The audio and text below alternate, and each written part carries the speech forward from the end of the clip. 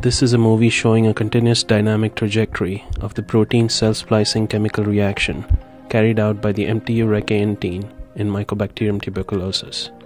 The reaction consists of a protein sequence called the intein shown in transparent red separating from the protein sequence that it is inserted in called the extein shown in blue and green while joining the initially separate extein sequences together.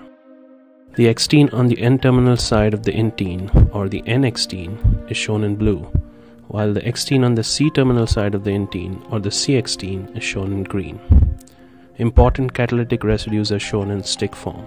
The first step is the nucleophilic attack by the cysteine at position 1 of the intein onto the neighboring backbone carbonyl carbon.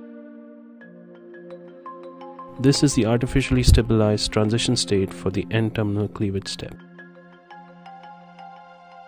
Cleavage of the peptide bond, resulting in N-terminal cleavage, then transfers the N-extein onto the cysteine side chain.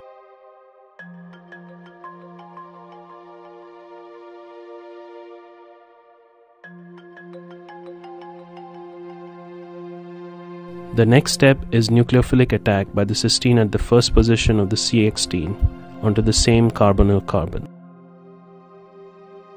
This is the artificially stabilized transition state of this trans-esterification reaction step. Cleavage of the carbon-sulfur bond with the first cysteine results in transfer of the N-extein onto the cysteine side chain of the first residue of the C-extein, resulting in a branched intermediate.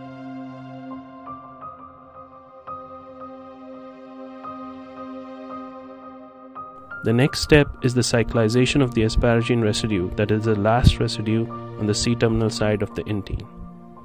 This occurs by attack of the backbone carbonyl by the side chain nitrogen of the asparagine residue. This is the artificially stabilized transition state of the asparagine cyclization step. Cleavage of the peptide bond between the asparagine residue and the C-extein completes the splicing reaction, resulting in covalent separation of the intein from a spliced extein, leaving behind a succinimide form of the asparagine residue.